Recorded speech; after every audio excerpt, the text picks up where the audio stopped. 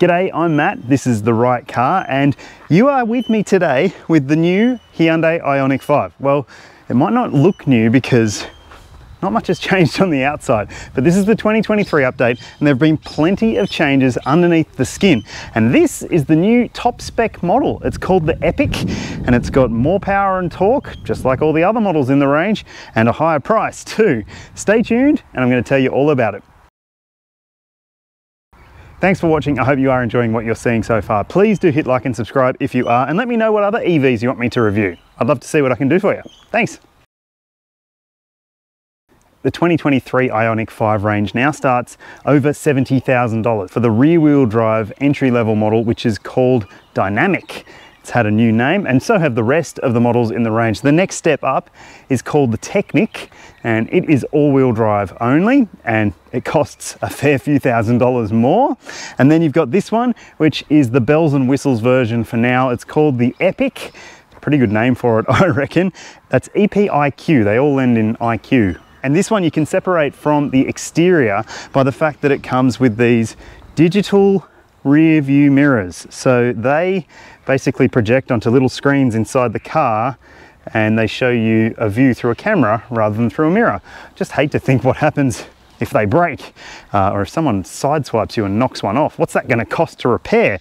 Anyway, you can also tell it because it's got a panoramic roof and it can also pre-prime the battery for faster charging when you get to a charging station. There's plenty of other tech stuff that you can read about. There's a good story at Car Expert if you want to go and hit that link and it tells you all the details about each of the variants. I'm also going to do a review for Car Expert on this grade, so make sure you have a read of it.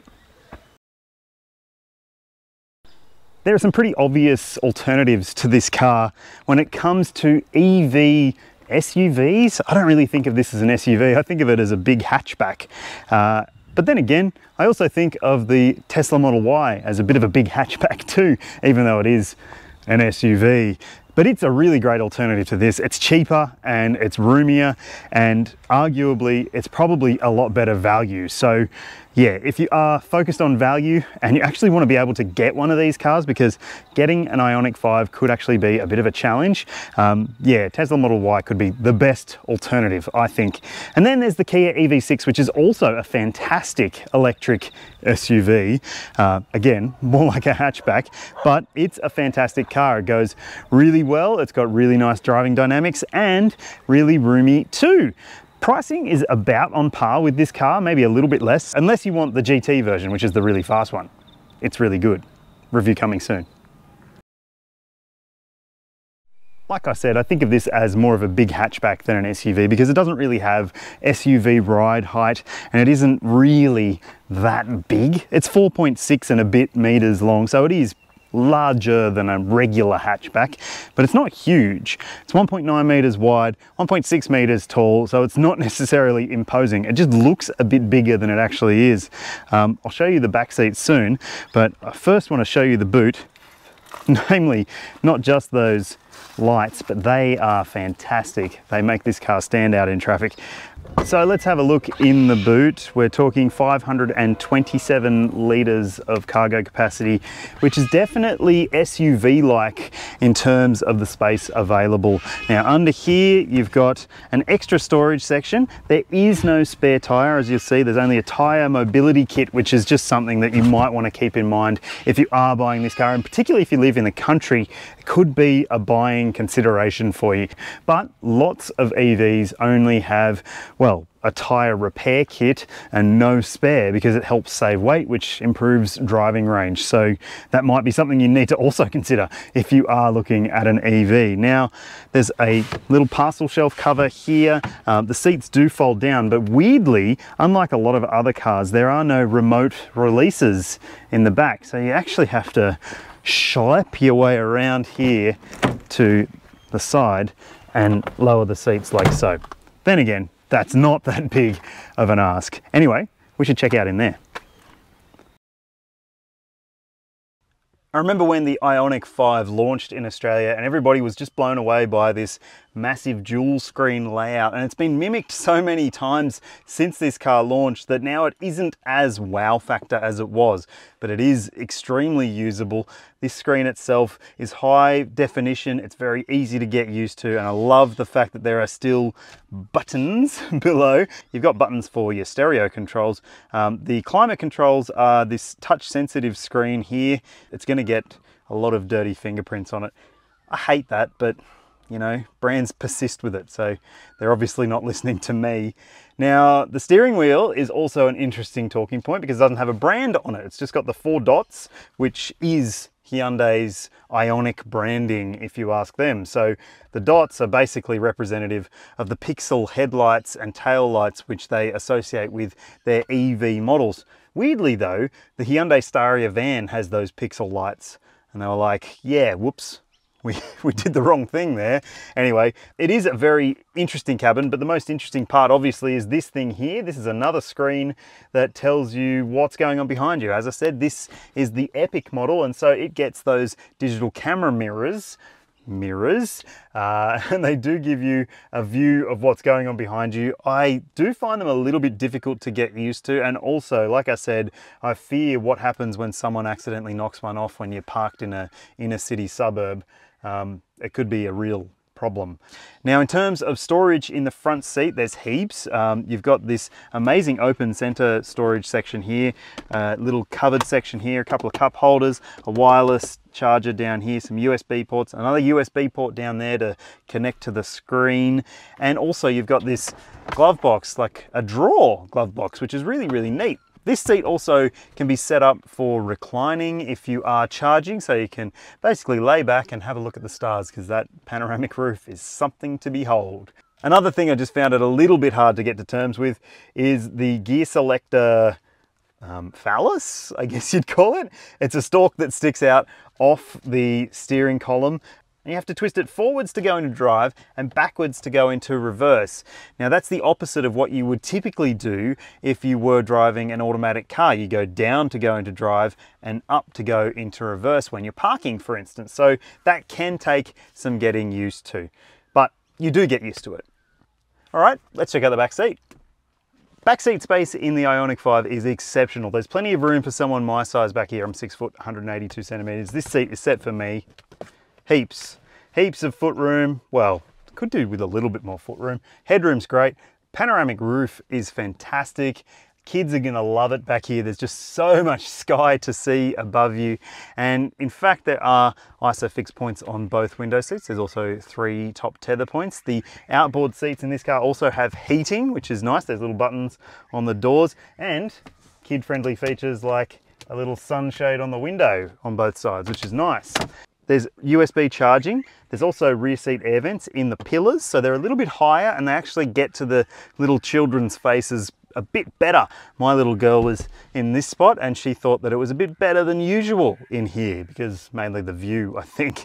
There's also a pair of cup holders and this flip down armrest and little mesh mat pockets with hard kickable back plates on the seats. Yeah, nice back here. Under the bonnet of the Ioniq 5, you've got a massive storage section. Well, it's not massive, but it is big enough to store your cables. Underneath there is the electric motor. You've got a few other things in the area here. So that's where you fill up your washer fluid, don't touch those. And there's the 12 volt battery as well. There have been power and torque improvements for both versions. The rear wheel drive numbers are on your screen now. They are pretty good. They're not huge, so it's not the fastest version of this car that you can get. If you buy the all wheel drive, you get a lot more power and torque, more than 600 Newton meters of torque, which is quite a lot. Now, not to 100, you'll see that on your screen now as well, and that is very quick, but there's an even faster one coming. As I said, the Ioniq 5N is going to be blisteringly fast. Now, when it comes to the battery pack, it's now about five kilowatt hours larger. So 77.4 kilowatt hours for the battery pack that lies underneath the body of the car. And that means it's now got longer range. You'll see the range figures for both the rear wheel drive and all wheel drive version on your screen now. Do you reckon it's good enough? I reckon it is. Hyundai says it has updated the ride and handling tune for the 2023 and beyond Ioniq 5 to offer a perfect balance between ride comfort and body control and that sort of thing. In the last version, it was a little bit um, soggy and sloppy at times, and that was just because it was quite softly tuned.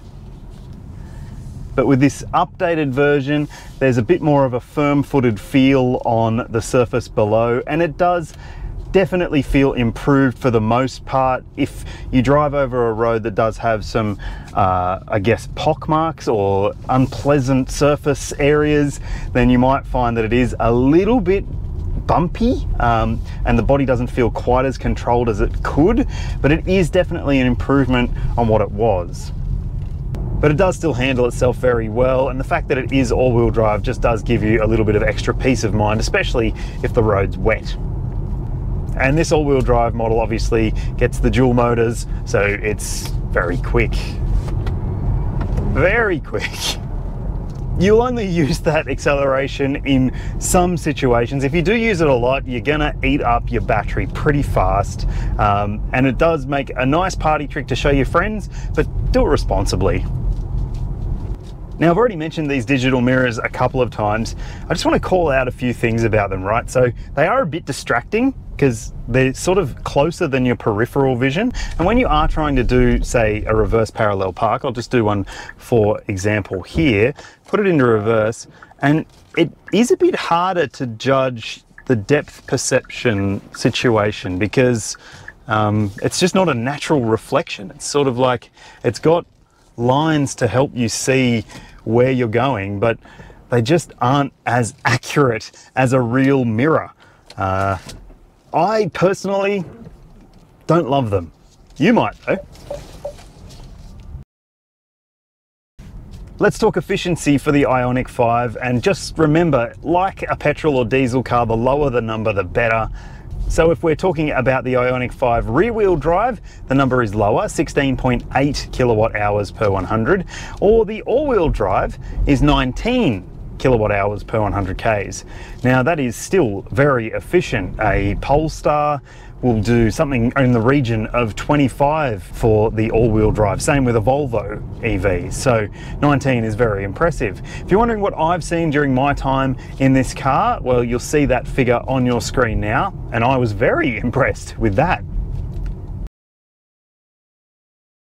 Okay, let's talk about charging next. So if you go to a very fast 350 kilowatt charger, you should be able to get between 10 and 80% charge in just 18 minutes, according to Hyundai. And if that charger is 50 kilowatts, which is still a pretty quick charge, you should be able to do that same 10 to 80% charge in about 70 minutes. So yeah, spend an hour and 10 minutes, go get yourself a coffee, an ice cream, and relax and enjoy the sights if it's only 50 kilowatts. If you are considering buying one of these cars, do get a wall box for home so you can charge it when you are at home. Seven kilowatts is the typical speed that you'll be able to draw in terms of that's what you'll be able to add back to the battery in an hour. So you're looking at something in the region of 11 hours, 45 minutes to fill it up from empty. Still pretty good.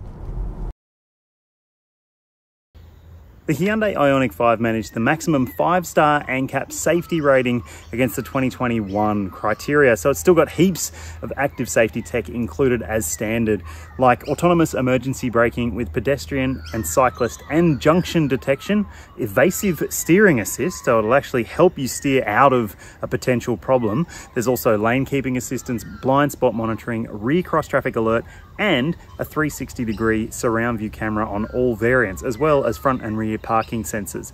So it does come very comprehensively equipped when it comes to tech. It's also got seven airbags, including dual front, front side, full length curtain, and a front center airbag. So if things go right, you will be theoretically very safe in this car. The Hyundai Ioniq 5 comes with a 5-year unlimited kilometre warranty, just like every other Hyundai, but an 8-year 160,000k warranty for the battery pack. Now, servicing intervals are much longer these days for the Ioniq 5, 24 months and 30,000 kilometers, which is twice as lengthy as the existing service intervals. It just means you have to spend less time at a service center. You'll see the prices for the servicing costs on your screen now. There's also roadside assist included with every Hyundai for life if you make sure that you get your car serviced at Hyundai. And I'd recommend that. For me, the Hyundai Ioniq 5 is still one of the best EVs on the market, although I don't think I'd spring 85 grand for this Epiq version. I don't like those side mirrors and I don't need that sunroof, so I probably wouldn't bother spending the extra six or seven thousand dollars over the Techniq all-wheel drive. That's the one I'd probably choose if I didn't need extra range. But tell me what you would choose in the comments section below. Would you choose an Ioniq 5 or something completely different? I'd love to know. Please do hit me up and I'll see you in the next one.